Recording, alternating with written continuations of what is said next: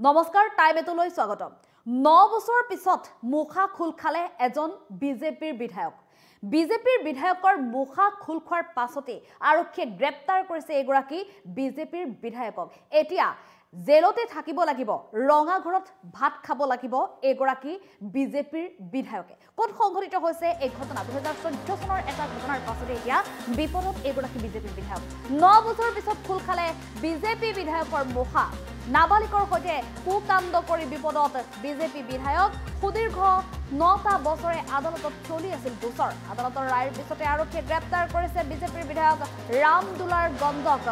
ৰাম দুলাৰ গণ্ড এতিয়া ৰঙাঘৰ আলহী। উত্তৰ প্ৰদেশৰ সোণভদ্ৰ জিলাৰ দধি সমষ্টিৰ বিধায়ক ৰাম দুলাৰ গণ্ড। বিজেপি বিধায়ক ৰাম দুলাৰ গণ্ডক এতিয়া গ্ৰেপ্তাৰ কৰিছে উত্তৰ প্ৰদেশ আৰক্ষীয়ে। উত্তৰ প্ৰদেশ আৰক্ষীয়ে ইতিমধ্যে গ্ৰেপ্তাৰ কৰি জেললৈ প্ৰেৰণ কৰিছে এগৰাকী বিজেপি বিধায়ক। দুহেজাৰ চৈধ্য চনৰ চাৰি নৱেম্বৰত সংঘটিত হ'ল ঘটনাৰ গোচৰৰ ভিত্তিত ৰায় আদালতত আদালতে ইতিমধ্যে ৰায় প্ৰদান কৰিছে। পক্সো আইনৰ অধীনত গোচৰ চলি আছিল। সুদীৰ্ঘ নটা বছৰে গোচৰ চলি আছিল আদালতত।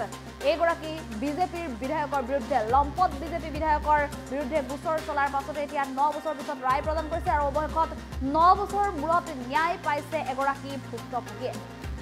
আদালতে অৱশেষত দোষী সাব্যস্ত কৰিলে। অভিযুক্ত বৰ্তমান বিজেপি বিধায়ক ৰাম দুলাৰ গণ্ড থাকিব লাগিব জেলত। ৰঙাঘৰৰ আলহী হ'ল হৈ এগৰাকী ৰাম দুলাৰ গণ্ড অহা পোন্ধৰ ডিচেম্বৰত আদালতে শেষ শুনানি প্ৰদান কৰিব। সন্মুখত এতিয়া বিজেপি বিধায়কৰ সন্মুখত এতিয়া বিপদ। নাবালিকাৰ সৈতে ভয়ংকৰ ঘটনা সংঘটিত কৰা বিজেপি বিধায়ক এতিয়া ৰঙাঘৰৰ আলহী হ'ব লগা হ'ল।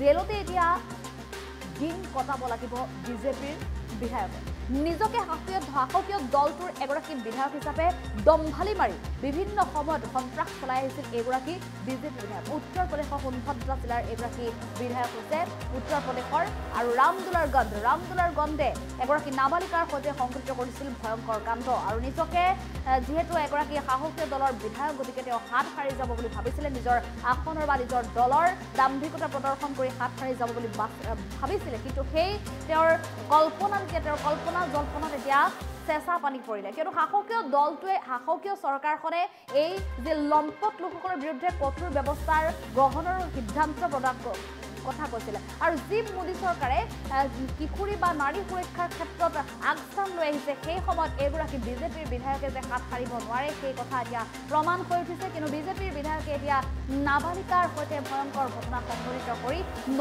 বছৰৰ মূৰত এতিয়া আদালতত ফাইল খোল খোৱাৰ পাছতে এতিয়া জেলত থাকিব লাগিব এইগৰাকী বিজেপিৰ বিধায়ক ৰামদুলাৰ গন্ধ। ৰামদুলাৰ গন্ধৰ বিৰুদ্ধে সুদীৰ্ঘ নটা বছৰে আদালতত চলি আছিল গোচৰ।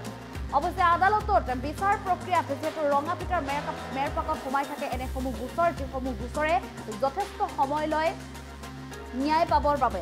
আৰু সেই সুদীৰ্ঘ বছৰ সুদীৰ্ঘ সময়ত অভিযুক্ত বা অপৰাধীয়ে মুকলি আকাশৰ তলতে ঘূৰিছে। এনে ঘটনা এনে ন্যায়িক ব্যৱস্থাৰ বাবে আচলতে এনে পুনৰ অপৰাধজনিত ঘটনা সংঘটিত হৈ থাকে। আৰু এই সন্দৰ্ভত কিন্তু আদালত বা ন্যায়ালয়ৰ বি- বিৰুদ্ধেও ন্যায়ালয়ৰ ব্যৱস্থাক লৈ ন্যায় ব্যৱস্থাক লৈও কিন্তু একাংশই ক্ষোভ প্ৰকাশ কৰিছে।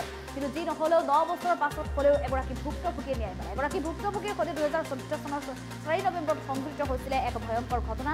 ভুক্তভোগীৰ পৰিয়ালে আৰক্ষী থানাত কৰিছিল গোচৰ। কিন্তু আৰক্ষী থানাত গোচৰ কৰিবলৈ গোচৰ তৰিবলৈ গৈ বিভিন্ন প্ৰত্যাহ্বানৰ সন্মুখীন হ'বলগীয়া হৈছিল ভু- ভু- ভুক্তভোগীৰ পৰিয়ালটো দুৰ্ভগীয়া পৰিয়ালটো। কিয়নো এগৰাকী শাসকীয় দলৰ বিধায়কৰ বিৰুদ্ধে গোচৰ তৰাটো যথেষ্ট প্ৰত্যাহ্বান যথেষ্ট শক্তিশালী এগৰাকী বিধায়কৰ বিৰুদ্ধে তেওঁলোকে গোচৰ তৰিবলৈ গৈছিল। অৱশেষত কিন্তু সেই প্ৰত্যাহ্বানত প্ৰতিদ্বন্দ্বিতা কৰি অৱশেষত জয় লাভ কৰিছে বুলি ক'ব লাগিব ভুক্তভোগী পৰিয়ালটোৱে।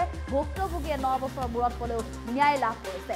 ৰঙাপিতৰ মেৰপাকত আবদ্ধ হোৱা ফাইল খোল খোৱাৰ পাছতে এতিয়া সন্মুখত পৃথিৱী কঁপিছে এইগৰাকী বিজেপিৰ বিধায়ক ৰাম দুলাৰ গণ্ডৰ ৰাম দুলাৰ গণ্ড উত্তৰ প্ৰদেশ আৰক্ষীয়ে আদালতৰ ৰায়ৰ পিছতে ৰাম দু- কুমাৰ গণ্ডক আহ, ৰাম দুলাৰ গণ্ডক গ্ৰেপ্তাৰ কৰিছে আৰু জেললৈ প্ৰেৰণ কৰিছে ৰাম দুলাৰ গণ্ড এতিয়া ৰঙা ঘৰতে আহিব লগা তেওঁৰ যিখিনি সময় ৰঙা ঘৰতে দিন কটাব লাগিব। দুহেজাৰ চৈধ্য চনৰ চাৰি নৱেম্বৰৰ পৰা এই গোচৰ চলি আছিল পক্সো আইনৰ অধীনত গোচৰ চলি আছিল ৰাম দুলাৰ গণ্ডৰ বিৰুদ্ধে আদালতত উত্তৰ প্ৰদেশৰ এখন স্থানীয় আদালতত চলি আছিল গোচৰ। আৰু এই গোচৰ পাছতে ন বছৰ মূৰত ৰায় প্ৰদান কৰিছে। আৰু পোন্ধৰ ডিচেম্বৰত সেই শুনানি প্ৰদান কৰা হ'ব। পোন্ধৰ পোন্ধৰ ডিচেম্বৰ তাৰিখে জানিব আচলতে কিমান বছৰ পৰ্যন্ত যাৱজ্জীৱন কাৰাদণ্ড হয়তো কাটিব লগা হ'ব পাৰে এইগৰাকী বিজেপিৰ বিধায়কে। শাসকীয় দলটোৰ দম্ভালী প্ৰদৰ্শন তেওঁৰ কামত নাহিলে। অৱশেষত যি চৰকাৰে কিশোৰী নাবালিকা অৰ্থাৎ নাৰীৰ প্ৰতি যি সুৰক্ষাৰ কথা কৈছিল সুৰক্ষা নিশ্চিতৰ কথা কৈছিল সেইখন চৰকাৰে অৱশেষত কথা দি কথা ৰাখিছে কিয়নো বিজেপিৰ বিধায়কসকলেও এতিয়া অপৰাধজনিত কাম সংঘটিত কৰি সাৰি যাব নোৱাৰিব। যাৰ এই প্ৰমাণ এতিয়া দাঙি ধৰিলে উত্তৰ প্ৰদেশত এইগৰাকী বিধায়ক বিজেপিৰ বিধায়কক গ্ৰেপ্তাৰ কৰি। বিজেপিৰ বিধায়ক ৰাম ৰাম দুলাৰ দণ্ড এতিয়া থাকিব লাগিব। চিৰদিনলৈ হয়তো থাকিব লাগিব। উত্তৰ প্ৰদেশৰ ৰঙাঘৰৰ চাৰিবেৰৰ মাজত আবদ্ধ হৈ।